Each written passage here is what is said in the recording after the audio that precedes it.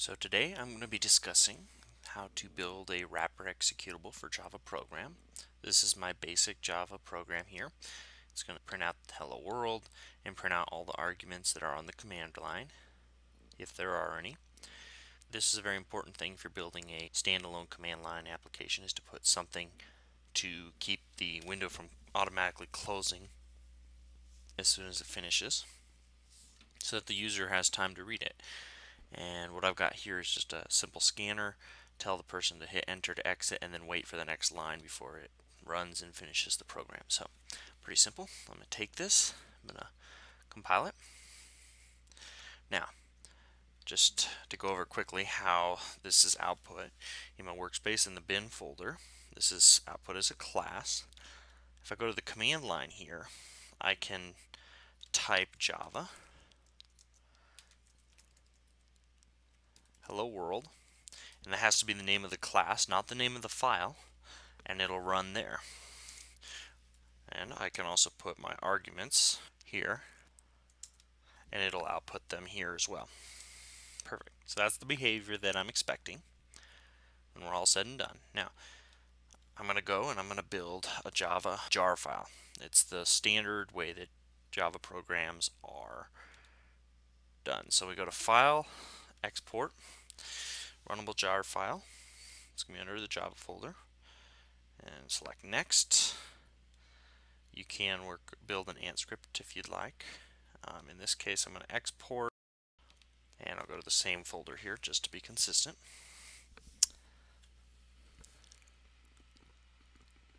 All right, that's done. Go ahead and hit finish. What this will do is if you have a whole bunch of class files, it packages it all into one jar file. So it's a Java archive file. So now from the command line, this time the commands is a little bit different. But you type Java hyphen jar for the first argument and then the name of it. Hello world.jar. Run it and it'll work just like we expect it to. Just like that piece of cake. So now we want to take this jar file and we want to turn it into an executable file. To do that, you're going to use this program called Launch4j. You use any different wrapper, but this is one of the easiest and simplest to use. Uh, you can download this and install it.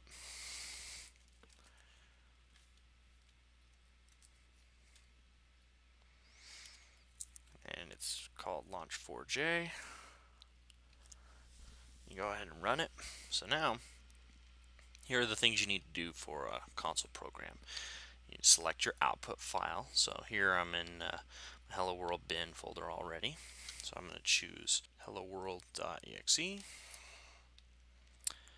and the jar file that it's coming from, which is our hello world jar we just generated. This is if you want to create only a launcher, we're not going to check that. Under header, you need to choose console. And then under JRE, you should put whatever your minimum JRE version that you support.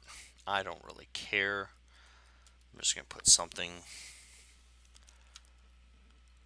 I don't think I'm supporting anything later. So then you can select build wrapper.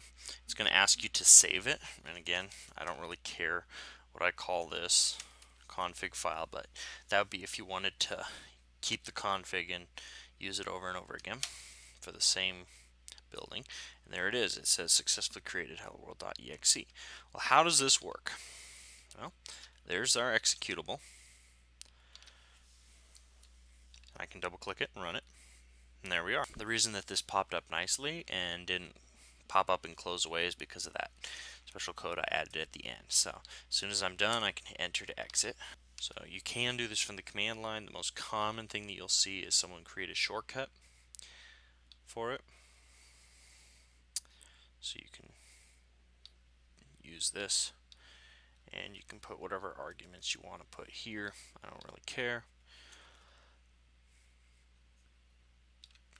So then when you double click that shortcut, those are automatically input. So you can use this for setting different items in your code or whatever, whatever you want to use it for. But the point here that I want to make here is that even though the program has been wrapped in executable, it's still passing through the argument. So that's a very important thing if you're using that sort of stuff in Java. So that's how you create an executable and it'll work from there and it'll work from the command line as well. There you go. Another thing, there are lots more features here in Launch 4J. You can you can choose an icon for the executable instead of this dull looking application icon here. So you can set that here. You can you can do all sorts of things. You can create splash screens for it but uh, that's just the basic stuff. So play around with it enjoy. And the last thing I want to cover here is just briefly let remind you that you can use these Ant scripts to automate building the native executable. You can use an Ant script for automating building the Java and that's pretty much it. So enjoy.